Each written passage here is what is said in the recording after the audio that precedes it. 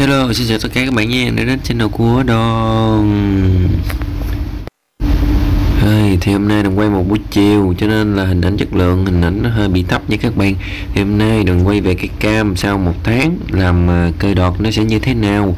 Thì hôm nay là đòn ờ, đã quay lại để cho các bạn cùng tham khảo.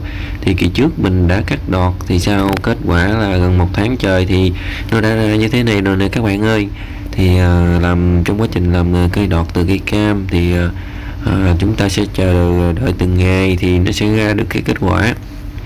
Thì giờ trong quá trình làm tạo cây thì chúng ta làm đồng lọt thì nó sẽ ra đồng lọt thôi các bạn nó ra đều. Nó đều trên từng những cái cây cam luôn nè rồi quay cho các bạn cùng xem ha.